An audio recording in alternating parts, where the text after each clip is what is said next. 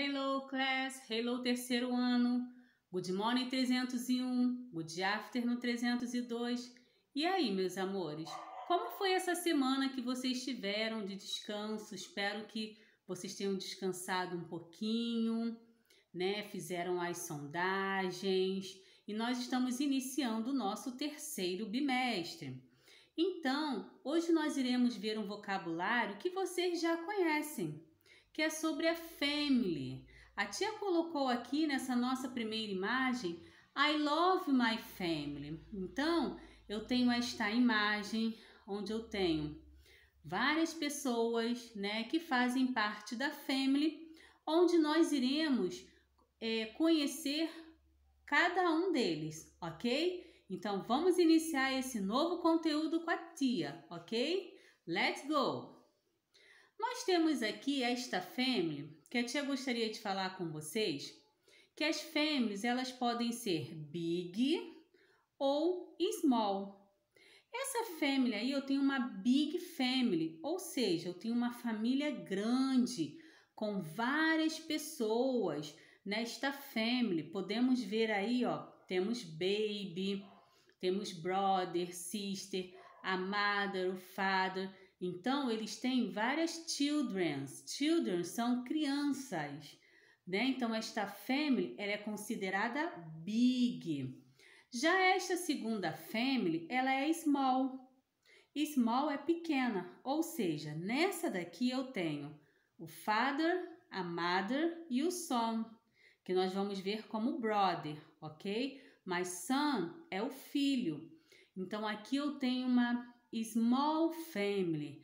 E aí, a sua family is big or small? É grande ou pequena? Vou deixar essa perguntinha aí para vocês, tá bom? Nós vamos ver agora cada membro, né? Cada pessoa que faz parte da family. Eu tenho aqui o father. O father, ele está ali com o son dele, né? Que está brincando na barba dele. Então, aqui eu tenho o father. Agora eu tenho a mother, a Doro, que é a filha, está dando flowers para a mother. Então aqui eu tenho a mother, ok? E ao lado dela eu tenho a Doro, que é a filha. Agora eu tenho aqui o brother e a sister. Então eu tenho brother and sister, ok? Agora eu tenho aqui a grandmother. Lembra, a grandmother é a vovó, né? A avó. Grandmother, com esse sorrisinho aí bem delicado. A grandmother. Tenho agora o grandfather, bem com sorrisão aí também, né? O grandfather animado, que é o avô, ok? Temos agora o uncle. Temos duas pessoas aí, two people. Eu tenho esse mais velho e tenho o boy aí mais novo. Uncle é o tio, tá? Ele está brincando ali, né? Jogando um videogame, né? O uncle é o tio. E aqui eu tenho out, que é a tia, brincando ali com a children, com a, com a child, perdão, que é a criança. Então, uncle, o tio, out, a tia.